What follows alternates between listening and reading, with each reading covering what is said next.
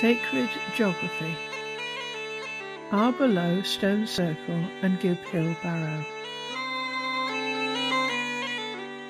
Arbor is located near Parsley Hay in the Peak District National Park, England.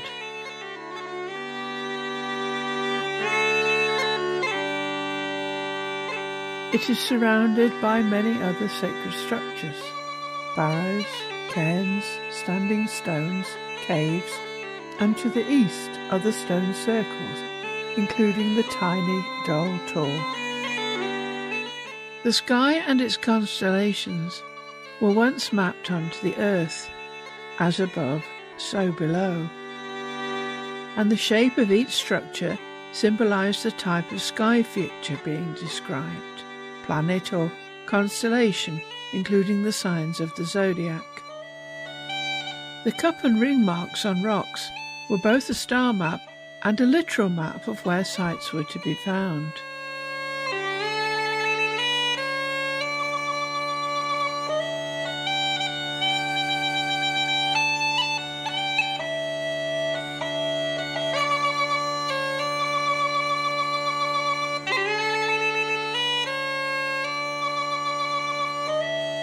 The nearby Ashover cup and ring marks show an important site surrounded by rings within a constellation of stars. Arbor itself has massive earthworks, nearly 7 foot high and nearly 300 foot round. There are two causeway entrances breaching both the bank and ditch. Some of the single marker stones are nearly 10 foot high.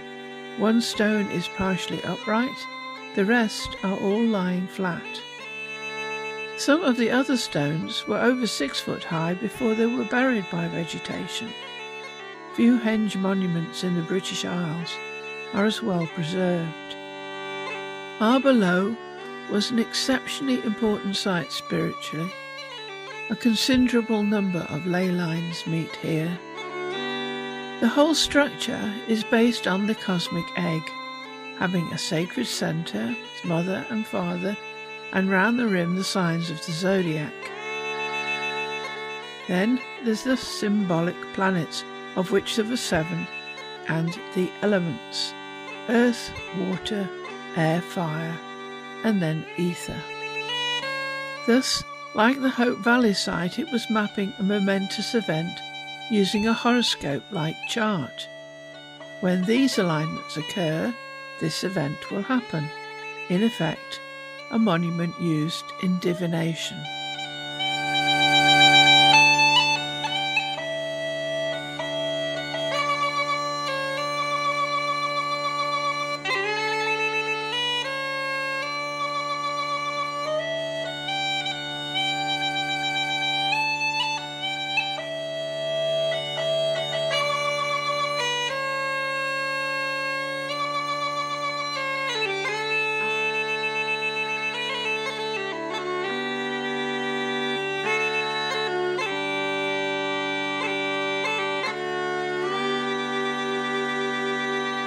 Arbor Stone Circle and Gib Hill Barrow can be found on Longrake Monyash, Peak District National Park, Bakewell in England.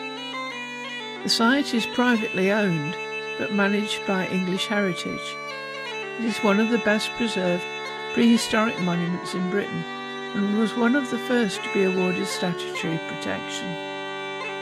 The site was used as recently as the Bronze Age, during which time the outer bank was rebuilt. From above, it looks as if the megaliths were positioned horizontally in a radiating pattern, resembling a clock face. It is the focus of many modern day pagan ceremonies.